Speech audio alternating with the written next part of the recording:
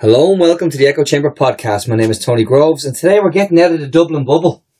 Uh, as always, I'm joined by my co-host and the man I personally recommend you should all call if you need someone problematic taken care of, as in taken care of. Uh, Martin, listen, I don't know what you did, but it's great. That trouble's just gone away, mate. Yeah, yeah, yeah. Well, we have, we have the, the boy in the hood today. We're up visiting the hood, so we're up in Ballymun. Welcome to the show, Luke Ming. Thank you very much. Uh, sorry it took me so long to, Oh, no, no, to turn up, but delight- uh, we know delighted you- to be here now. We know you're fighting the big battle there in the EU, so you, anytime you can give us and when you can fit in, happy to have it. Luke, I'm going to kick us off because the, the I remember you wrote a great piece. It was it was in the journal. It was on your own uh, your own website, and it was about the acceptable opposition and Yeah. about about the face of being the acceptable. So you're al- you're almost in my mind's eye the the face of the unacceptable opposition. Um, and you know there, there there is that element that where they attach um these maverick, uh, firebrand, troublemaker, and all this. And yet, the, the reality is actually the things you've said were, were, were based on fact, whether it was the Gardaí tackling corruption, whether it was, you know, uh, problems in the banks, you know, you, you've been proven raw, uh, true by, by, by over time, but you get no credit in, in the mainstream media, shall we say. Um, for me personally, that isn't a problem, and for people like Mick Wallace and Clare Daly, that isn't a problem. But uh, for people like Sergeant McCabe, in the end, he probably felt that he had no choice but to go to Micheál Martin because it's only then would the media accept uh, what he said. And it was only when Micheál Martin uh, stood up in the Dáil and started talking about uh, this particular horrible situation with Sergeant McCabe, uh, did the media go, okay, we better sit up and listen. And that's dangerous because if someone like Micheál Martin chose to ignore it, then what is a massive issue and one of the country's heroes being uh, the Gardaí attempting to smear him as a paedophile, he would never have been able to even get close to the sort of justice now he probably will get uh, unless he went to basically one of the mainstream parties. And that's not good for democracy because it sends the message out to the voters that, okay, um, I might like Luke Flanagan, I might like Clare Daly, I might like Mick Wallace, but uh, sure it only happens if we go to Micheál Martin. Uh, likewise with uh, Micheál Martin and Vera Twomey. Vera Twomey, another hero of mine. But really, uh, the serious push only came when uh, Micheál Martin started talking about it. And I suppose uh, that fits into the whole idea of acceptable opposition. And I think that is very dangerous for democracy. I think anyone who gets elected should be listened to and they should be given a chance. And uh, if uh, they can't do what they're meant to do, then well, let them uh, let them die on that. But give them a chance. But there's a, there's a concerted attack on a section within Leinster House. There's a concerted attack on them.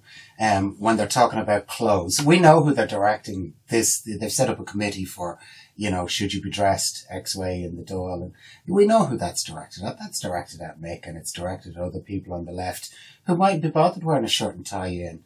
Um, but they are elected representatives. They have every entitlement to be in there, and then you have another group within there that are saying, "Well, we don't like the way you're dressed." You know, what gives them the right to say we don't? I mean, I know if it was me and they said you have to wear a suit in, I'd turn in book naked every day until they got fed up of it. Well, look, on one hand, they talk about mental health and they talk about respecting people and respecting people who are different, whether that be from uh, the point of view of colour, whether that be from the point of view of sexuality. But it ends at people who decide not to dress in the traditional uniform. And that's wrong because there are so many young people out there and I know them. I used to be one of them. I used to be a cure head. Uh, as uh, Pat uh, Pat Ingoldsby said to me the day I went into the Dáil, I met him on Grafton Street. He goes, "At last, we have someone to represent the weirdos." I wasn't insulted by that because I've always been a little bit different. Is that because I'm looking for attention? I actually don't like attention that much. Uh, I know people might find that hard to believe, but I actually don't. I like to be on my own an awful lot. But um, it just happens to be the way I look and the way I dress uh, captures attention. But you shouldn't be given abuse for that. And I have to say, I loved uh, what something that happened in the European Parliament uh, a couple of months uh, after got after I got elected. Uh, I had a member of staff in there. I don't know who they were.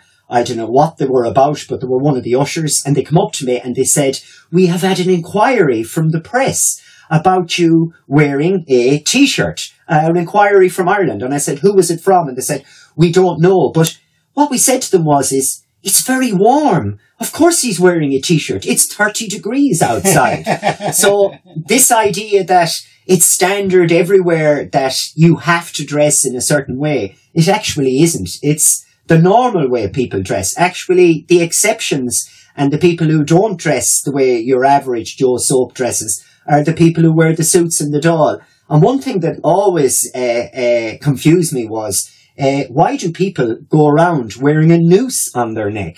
What are they trying to tell us? Well, I'm It's a of, bit strange. I'm kind of with you on that on Yeah. ties. And also, uh, since biological washing powder was invented, the purpose of the tie is defunct because my understanding of the purpose of a tie is to keep your shirt buttons cleaned. Hmm. And that material around it used to be really, really hard to wash. But news for the men in Dáil who wear a tie, you can use biological washing powder now to wash your shirts. Although I get the impression many of the male TDs in Dáil and probably don't wash their own shirts. Well, well, so- well, well, I tell you, but th- see, I, I, and I, what, what, what also really grinds my gears, I suppose, is when, when, when you look at the simple things that, that are going on in the European Parliament or in the Dáil, where you take up and you take notice, but uh, specifically, let's talk about the trade agreements. I have a problem in the EU, because in the EU we talk about, um, there's no EU constitution, okay? So citizens don't have an EU constitution rights, yet we will base everything on trade.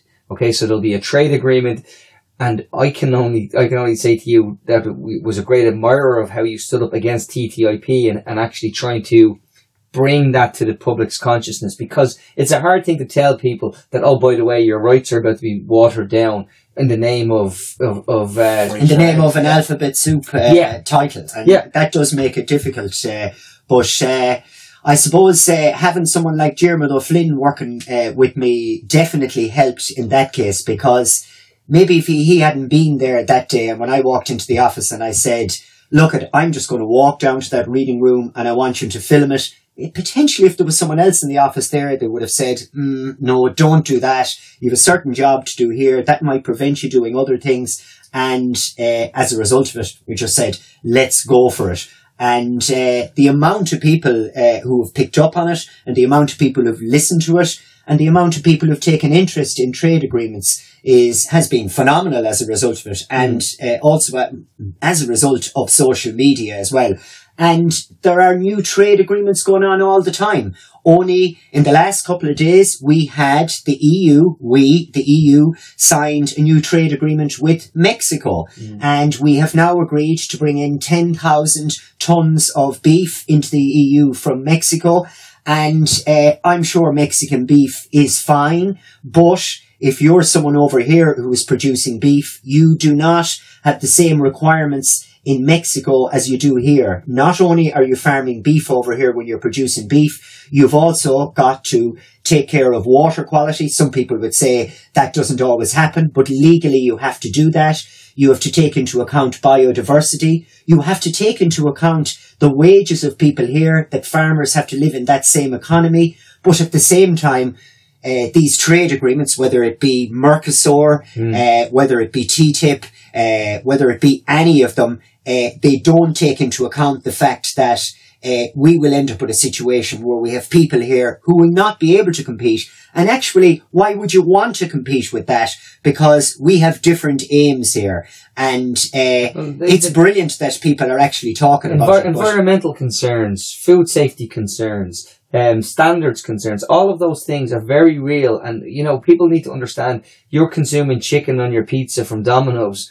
And, uh, if your, if your chicken is, is post TTIP, you know, it can be genetically modified. It can be whatever. Yes, it yeah. can be, you know, your, the standards are just so different. Well, it's inter- interesting you should mention pre-made food uh, and uh, processed food because you know a lot of people will say when you put out the argument there that we shouldn't be importing this people will come back to me and say well we shouldn't buy it why don't we just boycott it but the problem is you go out there and you get it on your pizza and you haven't a clue where it came from and you just don't know so the actual consumers can't even uh, make that choice but we don't re, uh, people say we've got to get more competitive. Why do we need to get more competitive? How competitive can we get? It's already, farming is already an exceptionally dangerous profession.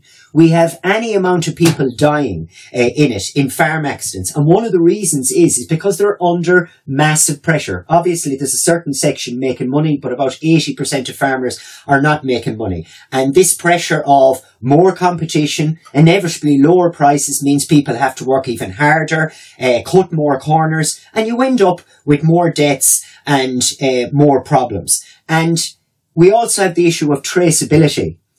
For example, with Brazilian beef, we know where it came from, where it was for the last three months, but we wouldn't have a clue where it was before that. Whereas what you're consuming here, you will not only know where it was from birth, you will know where the sperm and the egg came from right the way through. But there are costs to that. And the problem is the costs on that will not be uh, included when they throw that on the same shelves. And what you'll see is a situation where it will wipe out that type, type of farming in Ireland. And people who live in small towns might say, what's that got to do with me? Well, the reality is an awful lot of money that ends up in small towns trickle downs from, trickles down from what farmers produce. And by the way, I'm a townie. I'm not a farmer. I've never been a farmer and I probably never will be a farmer. But I realise the importance of it. We need to protect our food. We need to protect our food sovereignty. And after that, it's a fairly good start if we mm. got that right. That's right, because like we have a country that boasts that it can feed 50 million Sorry, people yeah. a year. Yes. Yeah, and we have children going to school in food, in food poverty. We have not got that, we have not squared that circle. We have not made this, this to a position where we're actually able to say, what we're doing because what we do is we're now going to um, export beef into China. Yes. And you're telling me that Mexico are going to export beef to us. And I know this is only a flippant example, but it's very true. Only last week, um, a boxer got a six month suspension for, for, uh, for steroids. But the, the, the excuse and the reason he got a six month suspension as opposed to a two year ban is because I ate Mexican beef.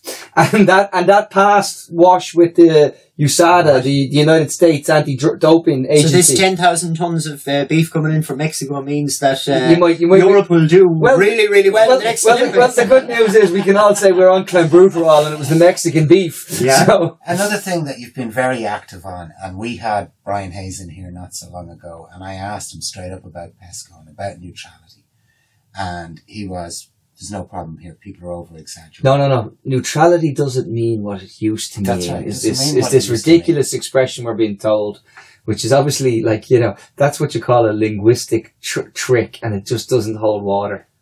Well, look, if something is permanent and something is structured and it involves cooperation and it involves all the defence forces or armies from around the European Union, bar uh, Denmark. Uh, then what else is it? It is an army. And this isn't just me saying this. We have people like Jean-Claude Juncker describing European defence as a beauty is born. That's how he described it. And I cannot see what is beautiful about us cooperating and buying weapons with uh, other countries around Europe, as in going out there and purchasing them together with them and then coming back and saying we will be safer in this country because it isn't as simple as there are good countries and bad countries. Mm. Russia bad, US good, um, uh, Great Britain good, France good.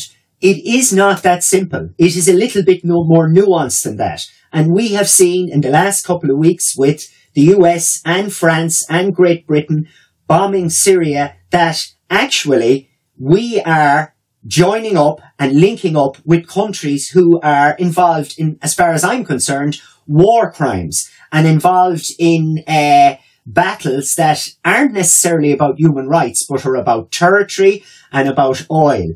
And we're getting involved in a situation where we're getting involved with countries that say we can bomb a country because they use chemical weapons, whereas at the same time they say Ash will try and vi- build uh, friendly relations with Saudi Arabia, even though Saudi Arabia is using chemical weapons in Yemen. Yeah, yeah, so um, the idea that cooperating with countries that have a history of colonization and a bad history when it comes to human rights definitely won't make this country safer. And what really worries me is that you have well, they're called the progressives, the S&D, the socialists and the Democrats in the European Parliament.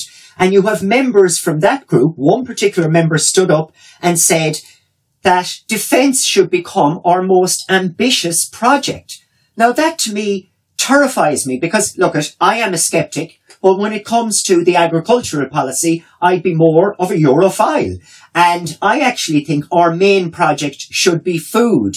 And at a time when we're moving towards common defence, we now have a new common agricultural policy that's based on subsidiarity, where it's all going to be decided back in the home country. So we're moving away from a common policy on food, which is more important, and we're now going to have a common policy on defence and war. Well, I uh, do not like that. All six scenarios in the future of Europe's white paper, all six scenarios included PESCO. Yes, yeah. All, uh, and so even if even if we water down the future, Well, all five. Uh, there were originally five, but uh, uh, you, you're right to say six because uh, before we made a decision in this future of Europe process, Jean-Claude Juncker decided to come out and tell us you can have any any any number so long as it's Juncker, basically. Yeah. And he picked a sixth Yeah. uh, uh, uh, uh, scenario, path. yeah, And uh, okay, people might like like might might not like Jean Claude Juncker. I'm no big fan of his,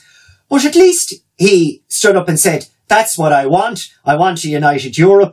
I want full fiscal union. I want an army, etc." And that's the direction he wants to go. I know. Really, that's the way Fine Gael want to go, but they ain't telling us that. But, It'd be nice if Well, they stand up and say, they have told "This us that. They have told us that. because- well, it depends what interview." No, because no, because he, Leo Varadkar said we want to stand with our allies. That was a very Blairite thing to say. yes, That yeah. was a complete and utter Tony Blairism. It was we stand with our allies, and all we were all we were short of is the the special partnership or something being said. You know, yeah, and yeah. and that special relationship. special yes. relationship, and and we're getting very close to that language now. So we think we, they want that. They, I think that that's where where this is going. Well, let, let's say you, you were, like, if you, if you have a look at it and look at what Ireland could add to a European army, let's say you were into that. I mean, how much can we add? How much actual real practical difference would we make on the battlefield? Let's say there is a battlefield.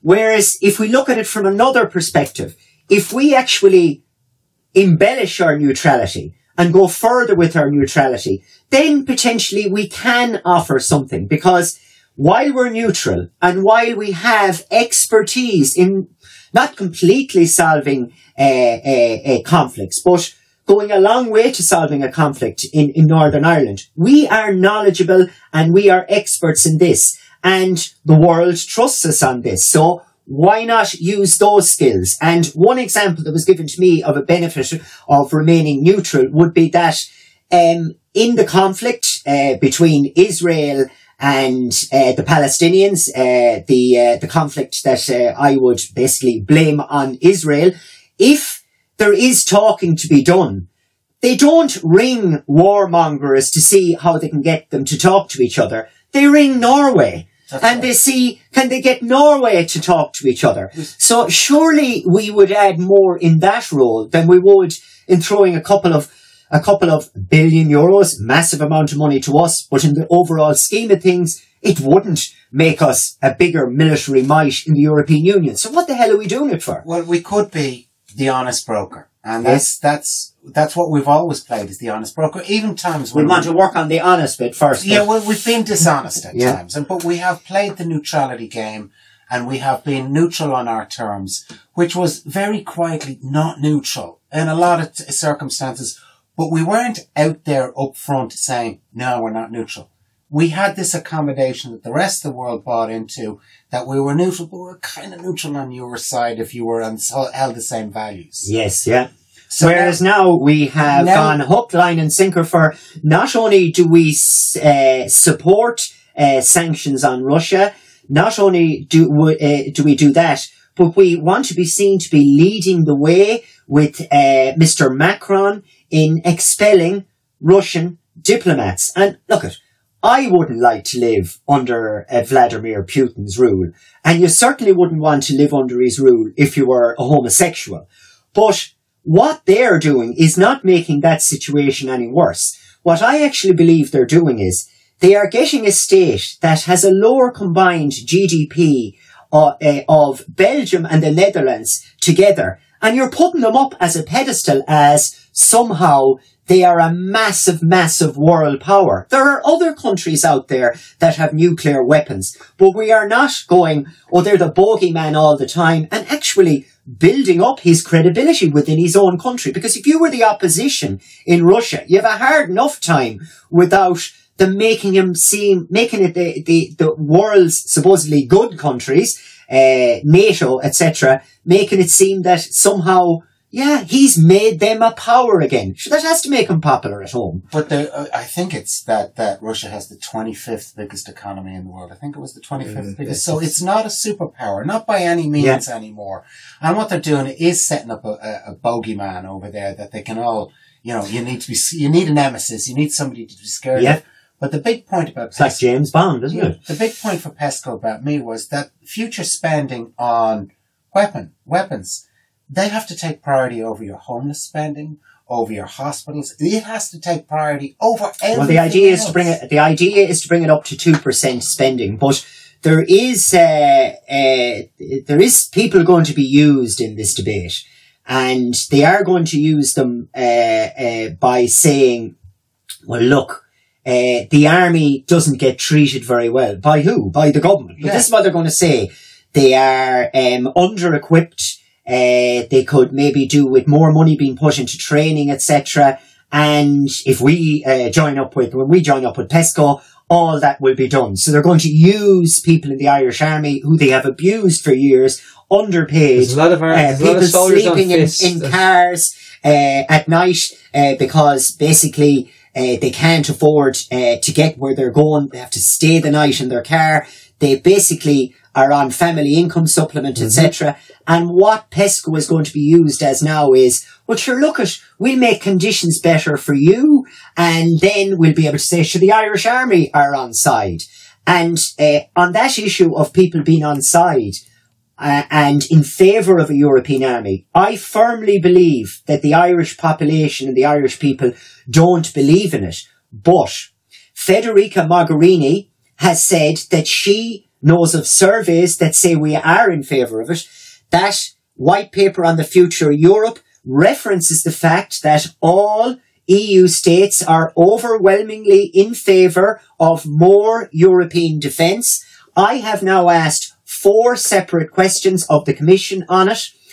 The first question, they said the answer is in, is in the data, in the attachment. It was not in the data. Everyone in my office looked through it. We sent back another question looking for disaggregated data. They didn't give it to us. I followed Federica Mogherini to a meeting and she promised to give it to me. It still hasn't arrived. Now we've sent in our fifth question. So you'd have to ask this. If they are so sure that we're that in favour of it, show me the proof.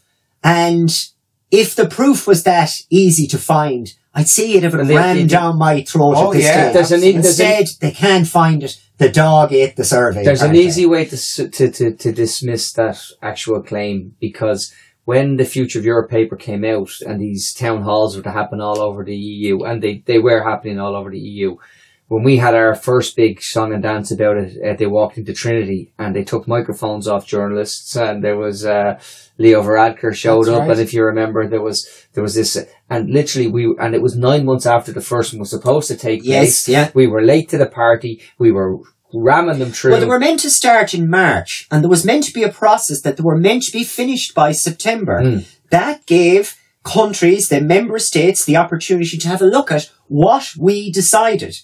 And if you watch the process closely and you listen to Jean-Claude Juncker and you listen to various actors on that stage, they kept shifting the goalposts. In fact, uh, at the last uh, European Parliament plenary in Strasbourg, uh, Jean-Claude Juncker announced that there had been 500 meetings. A few months previously, he announced that there had been 2,000 meetings. So over a couple of month period, they lost 1,500 meetings and they can't find them anymore.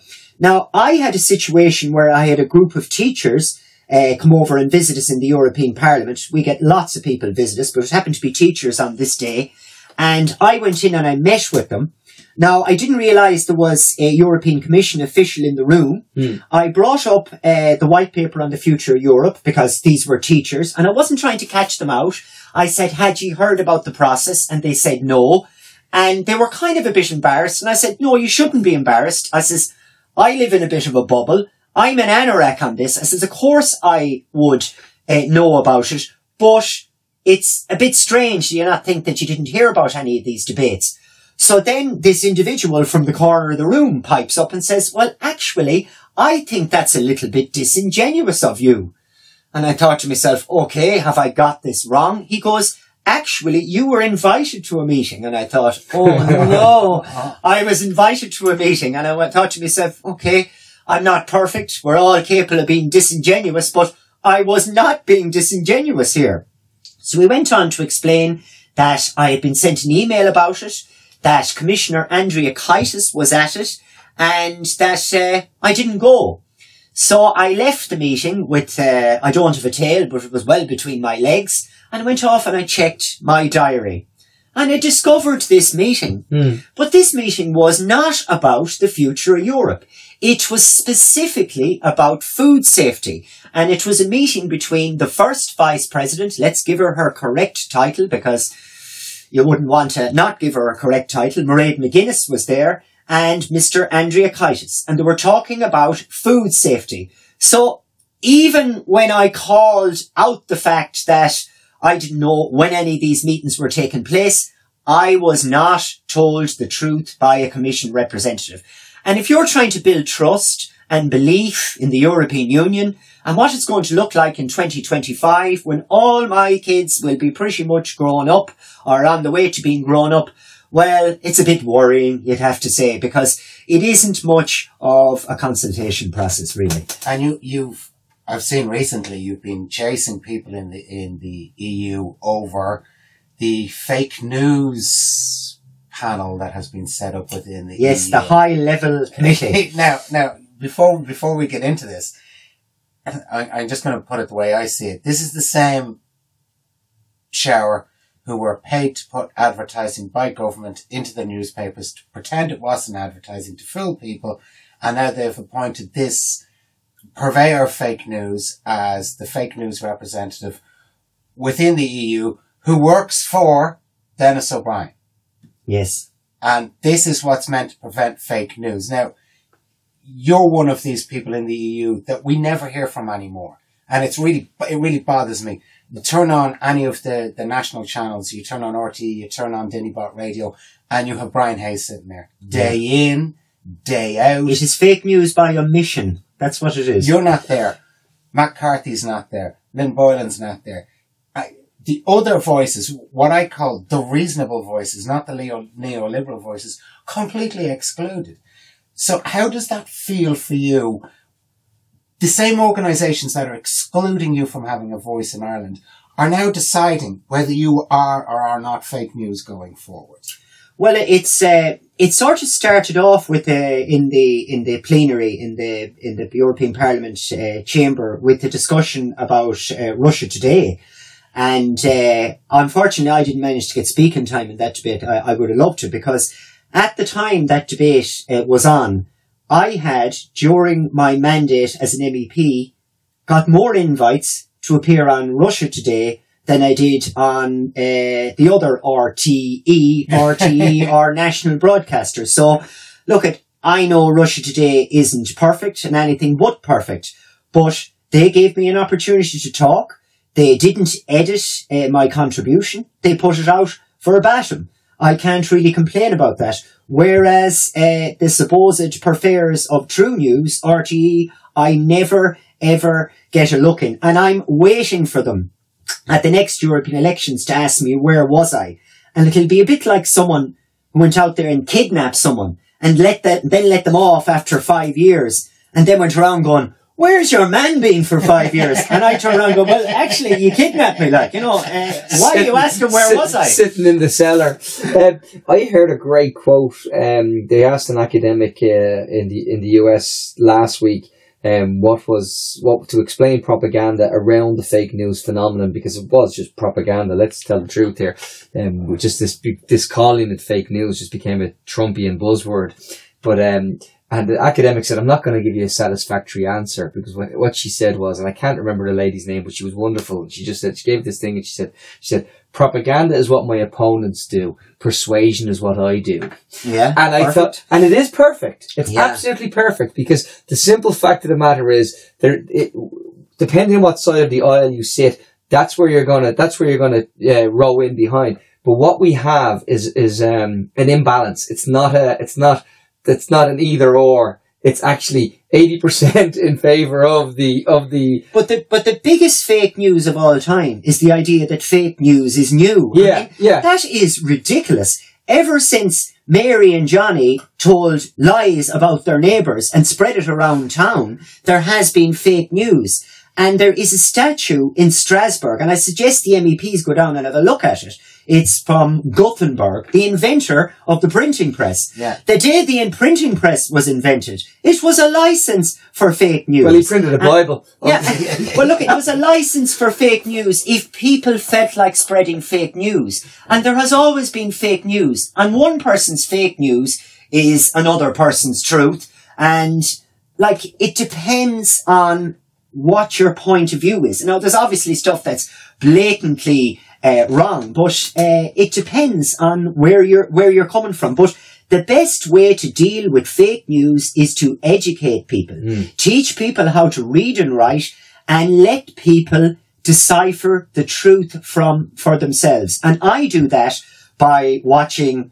God help me, said the atheist. RTE, RT, um, uh, Press TV. I watch them all, and then I make up my own mind. And I've worked out from watching them all that they're all lying to me a little bit. And uh, you just u- use your own common sense to establish what is the truth. And it's difficult at times, but that's always the way there's You've been. gotten nowhere chasing this. You've been asking about the process that Hmm. ended up with with yes, with the what we call nowhere yet. Stephen, Stephen Rae. But, but you, you've been questioning the process. How did this happen? And for something that should be fairly above board, you're not getting any replies back. You're not getting. Well, Um, uh, no, hang on, sorry. And then you have to deal with the fact that INM have gone to the courts this in the last week and said, "Thank you, Mister um, uh, uh, Office of the Director of Consumer uh, Corporate Enforcement." yeah. And uh, thank you for pointing out that we had a data breach, but we'll deal with it now. Yeah, and two yeah. thumbs up and go away. And you're like, really? You know, uh, like really? No, servers taken Well- from the bus- from the building? we're taking uh, we're taking uh, a long look at this. We're we're not basically just going to have a look at it and then go, okay, we tried and we leave it there. We currently have a freedom of information request in on uh, Mr. Rae's uh, job application. We also have put in questions directly out of that Anne Harris article, the brilliant article Yes. that uh, that she wrote. And when we get answers to those questions, I will establish where Mariya Gabriel is at her next committee meeting, and we will go in there and we will question her again because her angle on it now is that actually the fake news committee has, high level committee has reported and the job is done. But actually, if you dig down into it, there is potential for them to do something between now and December. So on one hand, we're being told, oh, this is all over. And okay, I know you're not happy with the appointment, but it's kind of irrelevant It's now. But on the other hand, officially, this committee is still there till December. And some people will say to me, at the end of all of this, if nothing is done about it, have you failed? I would say, no, I haven't failed. I will have established uh, what had happened. I will, esta- I will have established that the European Union and Mariya Gabriel is not willing to do anything about it. And then let people decide what they think of the European Union on that basis. And I, look, it, I'm not doing that purely just to get people to turn them off the European Union. I will sing lots of good songs about the common agricultural policy. I will sing lots of good songs about the potential for the European Union to actually do something about tax dodging, etc., etc. But if it doesn't do the right thing, it's got to be shown up. It's got to be highlighted. And okay, if they don't change now, it may provide a catalyst at the next European elections for people to run and more people to go in there and try and change it. And rather than saying, Asher, what's the point? He's banging his head against a brick wall. Put a few more people in there to bang their head against that brick wall and it will fall. You're one of our busiest MEPs and you are by far one of our busiest MEPs. And they did at one stage try and, and say that you didn't, uh, sign in and sign out. What's the point in having MEPs if they don't turn up? Yeah, quote unquote. yes, yeah, you remember all of that, and they had to issue an apology. I never, I, I, well, actually, it's it's interesting. You should say that they haven't had to interest uh, uh, as a result of what was reported about me since I became an MEP. The Irish Times and Suzanne Lynch don't have to issue an apology because what they wrote was factually correct. But if you actually drill down into the detail of it and you look at when they wrote it, you would just have to conclude that it was unfair because they wrote about a period between June, between May and December of 2014 at the beginning of my mandate. We did not start until July. We had one meeting. Then we had the August break and then we had two more meetings and then the article was written. My wife was pregnant and had a difficult pregnancy, so I made the decision and I make it every time to be there for her and my children, to stay with her. I missed three months. I actually had one of my APAs ring me and say, Luke, they're going to attack you if you don't come in. And I says, I know what's important. I knew what was important. So this article was written. Myself and Brian Crowley, who is very ill and can't turn up for work, was included in the article and it suggested what's the point in having MEPs if they don't turn up for work. But what has not happened since is that has not been updated. And if you Google attendance and Luke Ming Flanagan, you will get an article saying I don't turn up. When in fact the truth is, when it comes to roll call votes, since that time when I returned to work, no one has a higher percentage voting record. And even if you include that time, I am second of the 11 Republic of Ireland MEPs, but that has not been reported by the paper of record. And I don't get upset by a lot. I have grown a very, very thick skin. But a minimum of two times a week, I have to sit down and I have to reply to someone and tell them, no, you're wrong. I do turn up to work. And usually they come back and say they're sorry. And I say, no, don't be sorry because you read it. And sure, look at, you read it. So why wouldn't you believe it? And it isn't your job to apologise to me or say you're sorry. It's the job of the paper of record to update what they originally wrote. And this is the, the question of credibility. Uh, we, we're back to exactly where we started. The, the unacceptable opposition. We're back to exactly where we started. There were other you have the second best, best record of Irish. Well, well, well, there was there was another one where where where you were said you voted for a hard border when you when like I mean this is this is the sort of nonsense you have to put up with. Where whereas and this happens in the Dáil. I never day. I never forget it. I was walking along the corridor outside the uh, the the chamber. And Brian Carty, uh, a man uh, in uh, GUE NGL, the group that I'm in in the European Parliament, also a Sinn Féin member, comes up to me and goes, "Why did you vote that way?" And I looked at him, I says, what, Brian? He goes, you didn't, you voted in a sense for a hard border. I says, no, I didn't. I said, let me have a look at the voting list. And I look at the voting list and I went, oh my God. I said, can I change it? Because I wasn't really 100% sure whether I could change it. He said, you can change it. And I changed it immediately. And, but didn't, uh, didn't stop the, uh... no, no, it didn't. And it was suggested that, uh, what a silly thing to do. And then fortunately, there's an army of people out there found out a few things from me. Someone sent me a private message and said, Hey, look at the list of Irish MEPs who had to change their vote. Yes. Actually, you're one of the lowest amount of change votes. And even that wasn't the truth, really, because actually the person who changed the most votes was Liam Aoife. And it wasn't because Liadh Ní Riada is incompetent. In fact, Liadh Ní Riada is the other end of the spectrum to incompetent. She's the most competent MEP I have ever met out there. The reason why she had the most changes was because she went off and checked to see did she make any mistakes. She was wary that she made mistakes. And the reason why she had the most corrections was, is because she was always checking it. And now I check it a bit more often because you could potentially, and I kid you not, vote a couple, a thousand times in an afternoon session. Yeah, Dermot was telling me it can It just fly. is, uh, it's complicated. Uh, so, So- um, that option to change the vote is a very good one. So, sure, look at inevitably, they, this is what a bully does. And I've known it from school and I've known it all my life. A bully will highlight your failings and they will ignore your achievements. It is always the case. So be it. Well, can I, can I bring it on then to, to, to towards you? You talked about going back into the you, you know going back in. So so I take it that you're going to run again for, for as an MEP, I am indeed, yeah. and and so uh, the European project itself.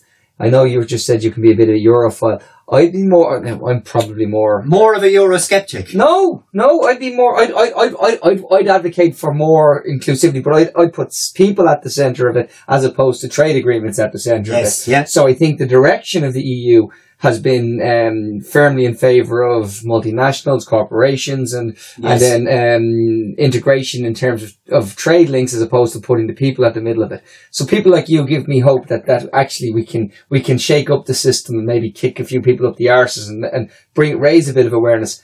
But I'm probably more. I, I think I'm more optimistic than you are.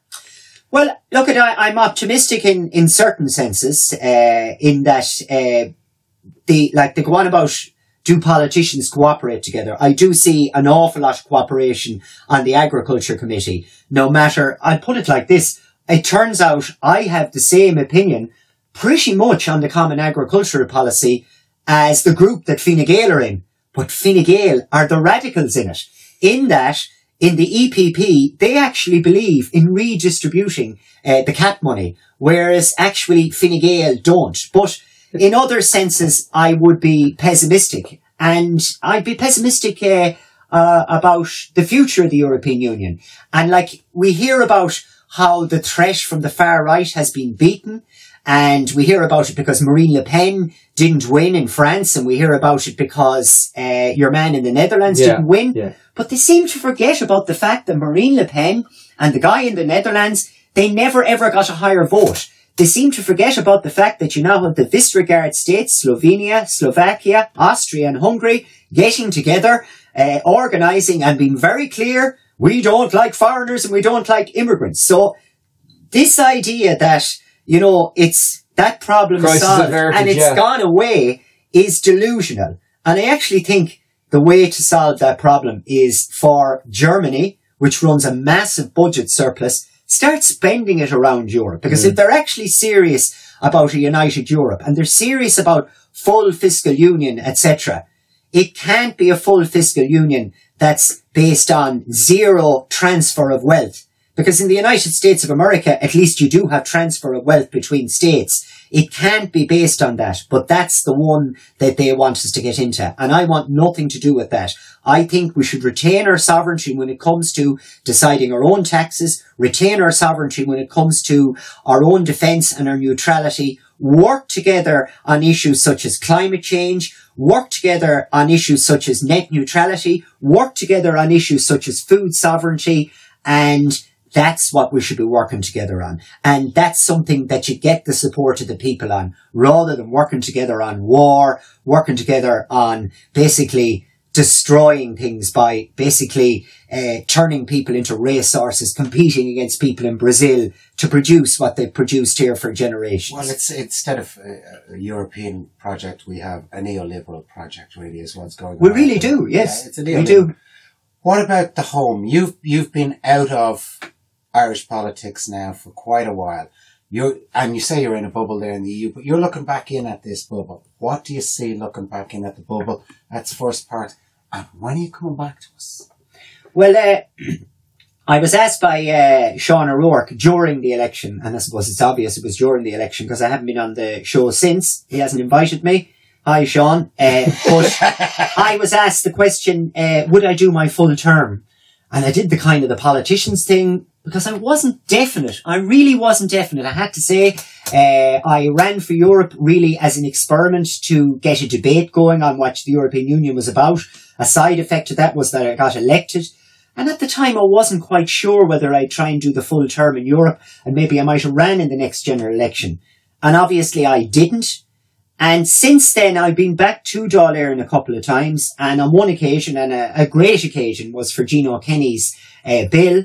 And that was good in itself. But I met a few of the new TDs with their, with their uh, designer outfits, etc. Manufacturers. And, and I, and I saw how excited they were about the fact that they were TDs, but not excited about the fact that they could do something for people as TDs. See, we do miss you. And We I got miss that sickening feeling that, do you know what? I cannot wait to get out of this bloody building and get on the road home because I have to say, it didn't feel like a nice place to be in any sense. So, will you ever see me there again? Uh, who knows? Who knows? And it's not easy getting into Dáil and you've got to get elected there. But- but so that's another thing. You there- never know. There was a rumour swirling around that if Bertie stood for the presidency, that you'd throw your hat in the ring. Did you hear that rumour? Yeah, I kind of, I kind of spread that rumor, but I, I think, uh, I think, uh, I, I think Bert, Bertie put an end to that rumor with his wonderful interview with, uh,